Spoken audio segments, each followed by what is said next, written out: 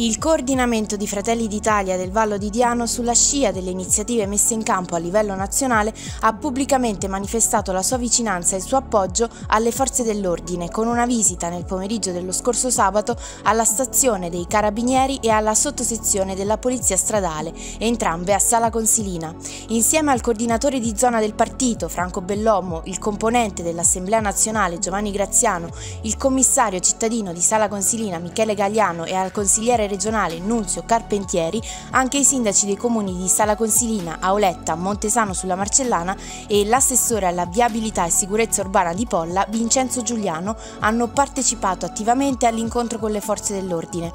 A fare gli onori di casa il capitano della compagnia carabinieri Roberto Bertini, il maresciallo Giacomo Mezzo e l'ispettore capo Nicola Molinari, comandante della sottosezione di polizia stradale. Per i fatti che sono successi a Pisa, eh, molti hanno additato le forze dell'ordine come eh, molto severe oppure hanno, hanno voluto diciamo, utilizzare questi, questi, episodi per attaccare le forze dell'ordine o alcune forze di partito. Io ritengo che l'errore di un singolo, se c'è stato, non possa compromettere quanto di buono hanno fatto finora i nostri esponenti delle forze dell'ordine e quanto di buono hanno fatto in questi anni, perché sicuramente quello che fanno quotidianamente è qualcosa di difficile, non, non è facile eh, eseguire degli ordini, non è facile mantenere la sicurezza in determinate situazioni, non è, non è facile gestire determinate situazioni, quindi bisogna vivere le situazioni prima di valutare. Noi abbiamo voluto organizzare questa manifestazione perché